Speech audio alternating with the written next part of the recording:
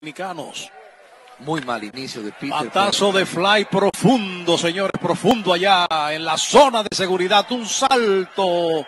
La estampa no pudo, la estampa no pudo allá en el jardín de la derecha. Brian engarzó una recta con el bate, con la masa del bate. Se fue Mejía. 2 por 0 al frente de los toros. No hemos terminado el comentario. Este hombre tiene un muy mal inicio de temporada. Dos remolcadas, unos 50. Pero en este estadio y la confianza que acaba de recibir no es para menos. Es por eso está en la alineación. Es un hombre de fuerza que con un swing acaba de hacerle daño a Rainer Espinal y a los gigantes, poniendo a los toros dos carreras por cero arriba. Bueno, aquí está Reddix. El jardinero derecho. Josh